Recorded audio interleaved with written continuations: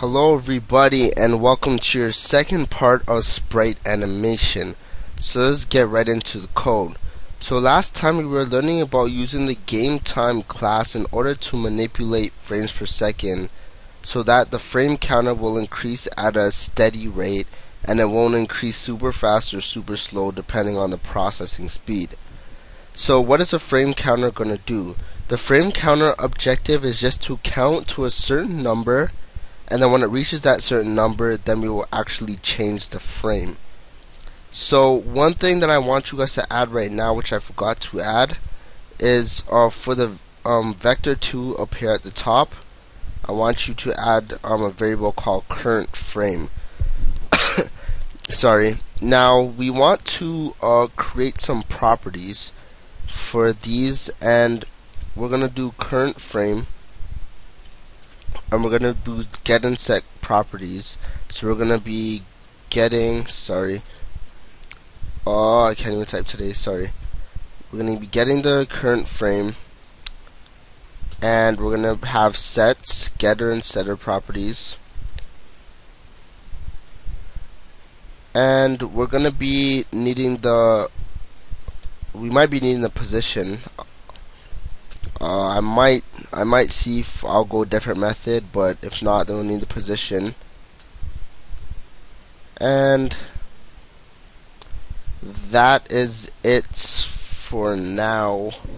So let us uh before we when we got when we created our program we had we created frame counter and switch frame so the value of switch frame is a limit that we're gonna is gonna indicate to us when we switch the frame.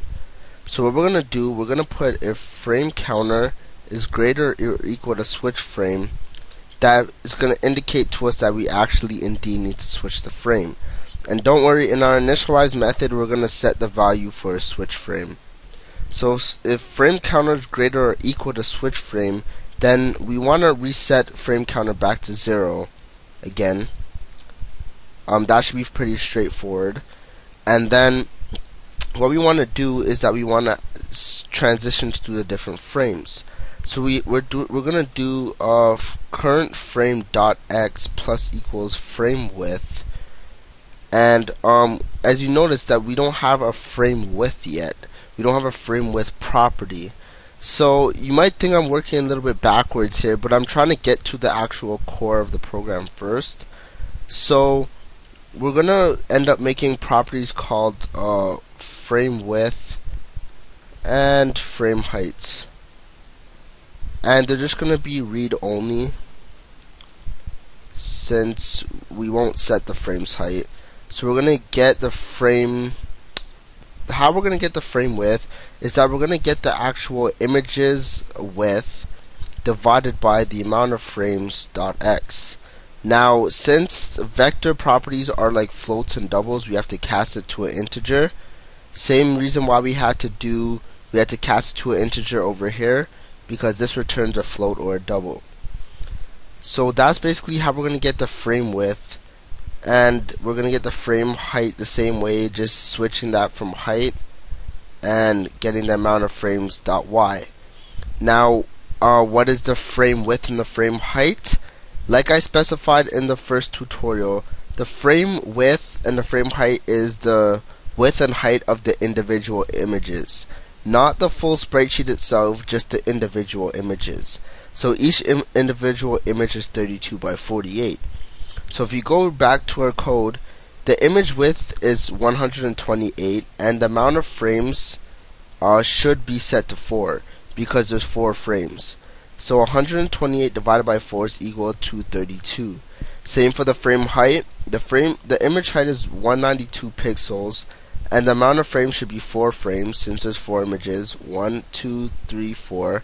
So 192 divided by 4 is equal to 48. So the frame height should return 48 and the frame width should return 32. So we want to cycle through the animations. So first the current frame um, X and the current frame Y should be set to 0 or whichever direction is facing.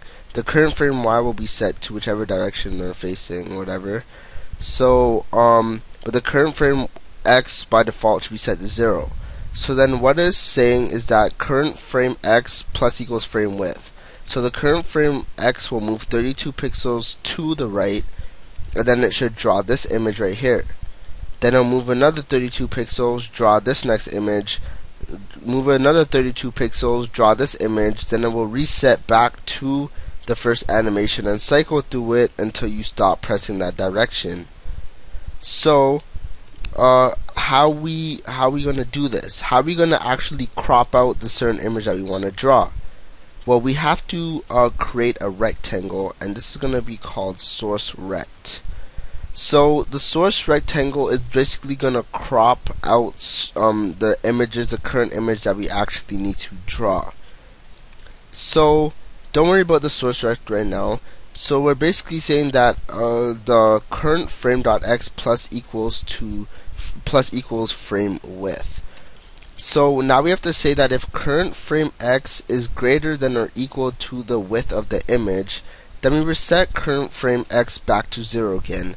So it's basically saying that if the current frame x is at this edge, there's nothing for it to draw. So we have to reset it to zero again and then it will draw this image back again. So we'll cycle through these images. Sorry if I'm being repetitive, but I'm just trying to make it as simple as possible. So that's all that happens when frame counter is greater than or equal to switch frame. So now we need to use our source rect in order to actually crop out the image. And how we do this, we put source rect equals to new rectangle. Now you guys should generally already know what rectangles do they draw a certain section of the picture. So we're only going to be cropping out certain sections. So th this should this is simple enough. We just put current frame x, current frame y, then we cast it to int because rectangles are um, require integer parameters, not doubles or floats. Then we put frame height and we should cast it. So cast frame height. Oh, sorry, I casted the wrong thing. Frame height, frame width and frame height are already integers, sorry. We're supposed to cast the current frame. So we cast the current frame to integers, and that should be it for our source rect. So what is what is this gonna do? So pretend that we're pressing the down key, okay? We're pressing the down arrow key. Sorry. So that means um the the default, the current frame x is equal to 0 and current frame y is equal to 0. Okay? So, what this is going to do is that it's going to say start cropping from pixel 0 in the x coordinate and pixel 0 in the y coordinate. And then this x2 and y2, we end drawing from the frame width from 32 pixels towards the right and 32 pixels down. So what this is going to do is going to say start drawing from this corner, move 32 pixels to the right, then move 30 if move 48 pixels down, sorry. So move 48 pixels down and then crop out that rectangle and store it in source rect. So basically that current image is stored inside source rect. So if we go to our draw um, method, and we type in sprite batch draw, what we're gonna do is we're gonna draw our our image, and our image. Um, first of all, you could see that batch has many overloads. So we're we're not gonna be using the first one or the second one. We're gonna be using the fourth one.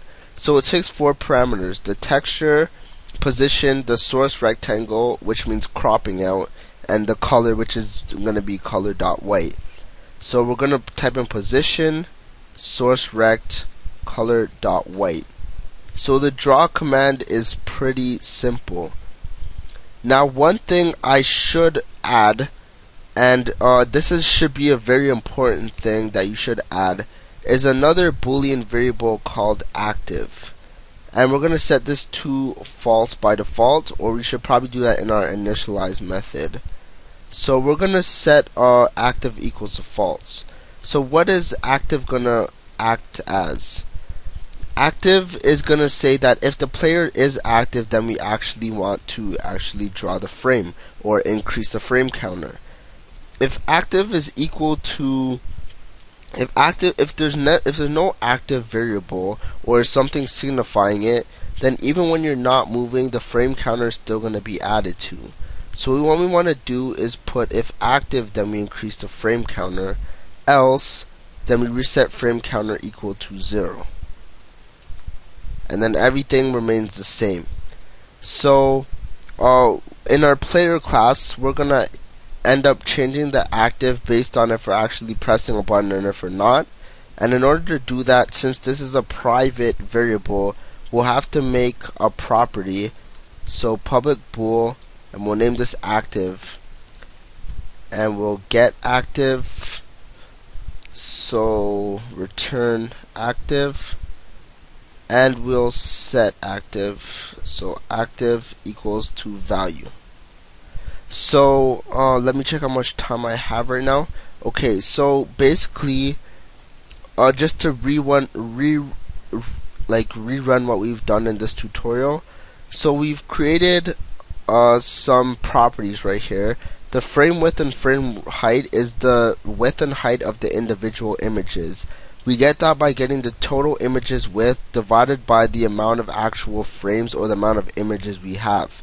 So since this image is 128 pixels wide and we have four images then we do 128 divided by 4 and in, in turn we get that each image is 32 pixels wide just a little math for you to do there you could in fact the reason why we do it this way is because if you have different images in a game and you want to incorporate the different images or image widths and heights then uh, you can't just say that the frame width is 32 pixels or frame height is 48 pixels for every single image or your game won't be flexible or your game engine or whatever. So in order to accommodate for different sprite sheet widths and heights, then we do it this way for maximum flexibility. And um, in later tutorials, I'm going to be showing you how to actually load these values through text files and stuff. So then it's easier instead of manually inputting the values like that all the time. So, uh, what we did in the update, we say that if active is true, so if the player is indeed moving, then we increase the frame counter. If the player is not moving, we set the frame counter to zero. If the frame counter has reached the frame limit to the point to switch the frame, then we switch the current frame. We set frame zero to zero, frame counter to zero, and if the current frame is too big or it's it can't draw any frames anymore, it resets back to the first frame image. Then for the source rect, we actually crop out the image we want to draw. And in the draw method, then we actually draw our image, our cropped out image towards the screen. So that is it for this tutorial. Hope you enjoyed it. Thanks for watching and bye.